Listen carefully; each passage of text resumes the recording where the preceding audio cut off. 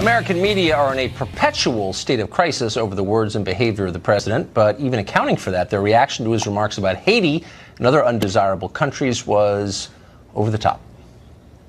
The president of the United States is racist. Ah. Sir, they're not whole countries. For one, Donald Trump isn't their president.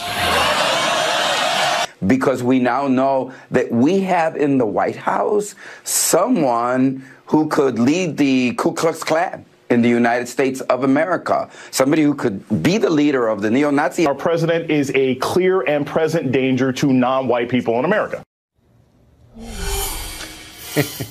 Gutierrez guy's unbelievable. Joe Concha writes about media for The Hill, watches TV for a living, and joins us tonight. So, Joe, I was preparing for yesterday's show, so I missed a lot of this. What were our moral leaders our ethical betters on cable television telling us last night? Our media overlords. Well, for starters, I'm a little banged up today, I, I got to admit, because I was stupid enough to play the S hole drinking game, which is entailed by if someone says S hole, uncensored, right? The, the, the whole thing.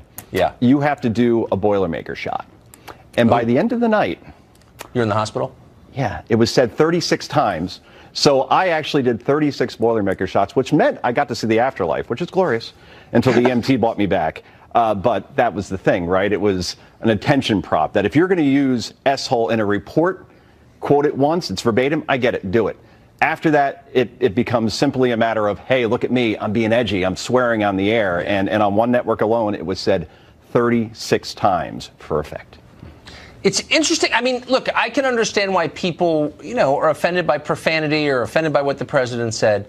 Was there any conversation, though, about what it meant and about the implications for the country and the debate that underlies it about who should come here and who makes the country better and who doesn't? Was there any conversation about that at all that you saw? No, it, it was primarily a matter of, am I morally more morally virtuous than you. Yeah. That's what debates come come down to now. It wasn't like, okay, uh, is this an economic argument that the president is making? Is he sticking up for the American worker, or was it a racist statement? And you had one argument uh, over on CNN, and it was uh, between Rick Wilson, who's a GOP strategist, like a never Trumper, and then John Fredericks, who uh, hosts a radio show in, in Washington, conservative, right? Uh-huh. And this is what Wilson said, and I'm quoting here. Uh, he said, after they go back and forth, and Fredericks is trying to say, look, we got to bring better people into the country, mainly making your argument, right? Yeah. Uh, and Wilson's just yelling at him, saying, no, no, no, you're a racist, and you, why don't you just go to the Home Depot and put a white hood on your head? He then says this. He says, I would like to gut you like a fish